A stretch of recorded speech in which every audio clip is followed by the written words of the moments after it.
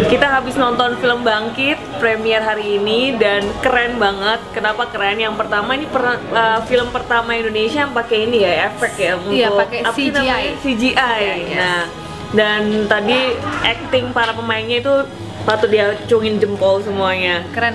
Keren banget. Keren banget kalau bisa dibilang kayak em, ikut terhanyut di dalamnya. Jadi sebenarnya eh, ikut sedih, ikut kayak udah meneteskan air mata karena apa ya dramanya dapat tapi benar-benar drama yang uh, it happens gitu kalau Yes. misalnya di ketika bencana ketika kita di keluarga itu benar-benar natural terjadi gitu makanya ke bawah suasana juga tadi Iya, pokoknya ini salah satu kalau saya bilang terunik ya, bukan hanya dramanya, Hmm. tapi secara visualnya dan grafisnya pokoknya luar biasa. Jadi kombinasi yang banget. dan kita harapin film-film di Indonesia semakin maju dengan adanya bangkit mungkin ke depannya bakal banyak film Indonesia yang lebih uh, menggunakan ini ya apa CGI, CGI. tadi atau dengan uh, lebih kreatif lagi untuk memajukan film di Indonesia. Makanya jangan lupa nonton tanggal 28 Juli di bioskop-bioskop terdekat nonton Bangkit.